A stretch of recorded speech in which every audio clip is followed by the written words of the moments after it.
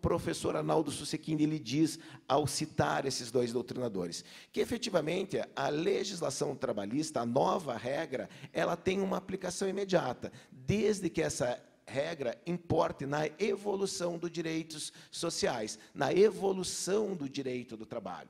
E eu vejo alguns doutrinadores em artigos dizerem, não, o Arnaldo Susequinde, ele já diz que a aplicação da lei deve ser imediata. E ele realmente diz isso, mas ele diz a aplicação imediata com vistas à progressividade do direito social, com vistas à progressividade do direito do trabalho.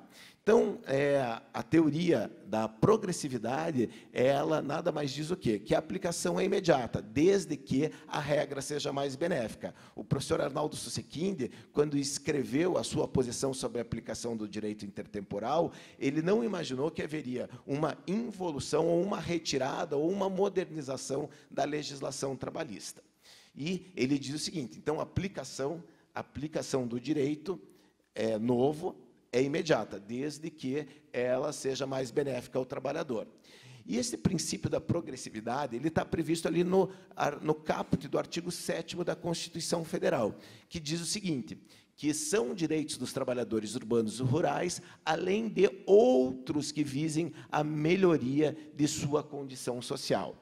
Então, a gente observa o quê? Que o artigo 7 da Constituição Federal, em todos os seus incisos, ele prevê um patamar mínimo de direitos para o trabalhador. E nada impede que outros direitos sejam previstos. Né? O artigo 7 contém aquilo que nós denominamos de conteúdo normativo mínimo do contrato.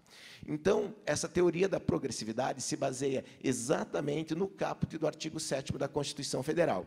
E o exemplo mais emblemático é, da aplicação dessa teoria no direito do trabalho no Brasil é a recente lei que tratou dos contratos de trabalhadores domésticos, a Lei Complementar 150/2015. Essa lei, ela ampliou significativamente os direitos dos trabalhadores domésticos, praticamente equiparando-os aos empregados, aqueles que eram regidos pela CLT.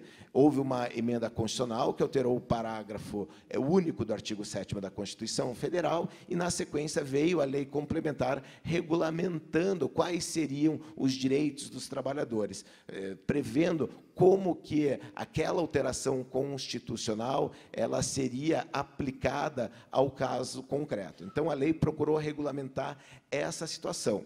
Quando do advento da lei complementar é, 150/2015, não houve nenhuma discussão acerca da aplicação imediata. Por quê? Porque ela apresentava uma evolução no direito dos trabalhadores domésticos.